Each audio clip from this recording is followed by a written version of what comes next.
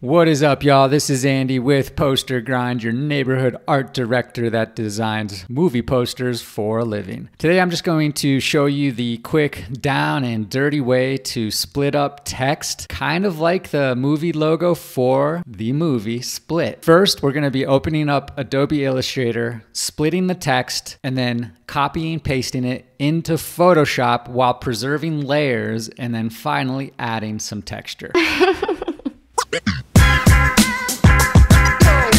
What?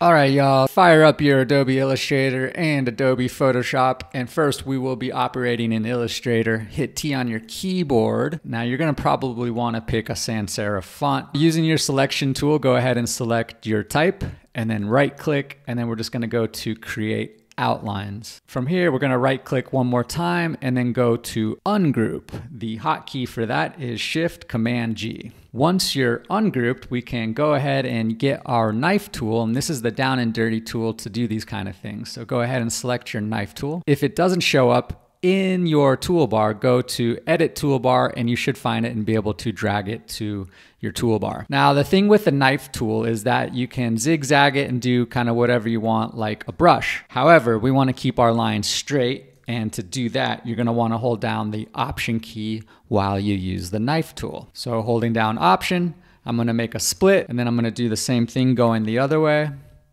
And then I'm just gonna make a few of these going on down. Once you have all your selections made, go ahead and hit V on your keyboard, and then we're just going to start selecting out everything that we've just cut up with the knife tool. So holding down the shift key, I'm just going to select each and every splice. And then I'm just going to right click and then hit group and then move it up slightly by using the arrow keys. Now that splice is grouped, and so I'm gonna do the same thing with the next one. Right click or hit Command G, the hotkey, group that. Then I'm gonna do this all the way down until I have everything selected and grouped properly.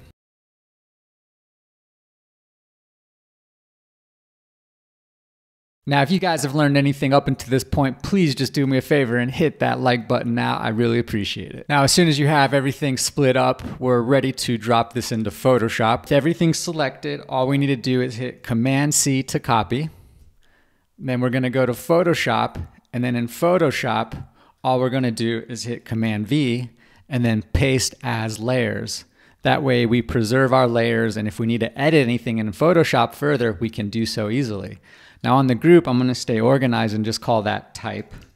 And now with everything selected in the group, I'm gonna hit Command T and increase the size a bit. The fun part is adding the texture and I already went to one of my favorite stock photography websites, envato.com and picked up this piece of texture that is licensed. The cool thing about Envato is that they have an annual unlimited download program of around 200 bucks and that's all licensed material. They also have a monthly of around 16 bucks, so if you do get a chance, check them out and be sure to use the affiliate link below because we get a little something something for sending them business. Now the easiest part of this tutorial is actually adding this texture to our type. So once you have your texture, click on it Make sure that it's sized appropriately. So I'm just hitting Command T, increasing size, and now I'm gonna just use a clipping mask and attach the texture to the logo. All you do is hit Option Command G, and there we have a clipping mask with our logo and texture. Now, if you guys learned anything from this tutorial, all I'm gonna ask you to do is hit that like button and then look out for the next one in the near future. Thanks so much for watching.